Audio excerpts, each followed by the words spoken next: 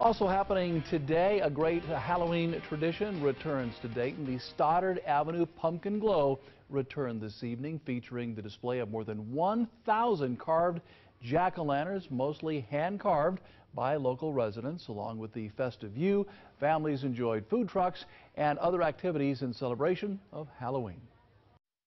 I think it's amazing. I mean, you just look around. I know you can't see the jack-o'-lanterns right now for all the people, but that's part of the fun is you can walk around each individual jack-o'-lantern and get up close and see what it looks like. And they're all unique and different.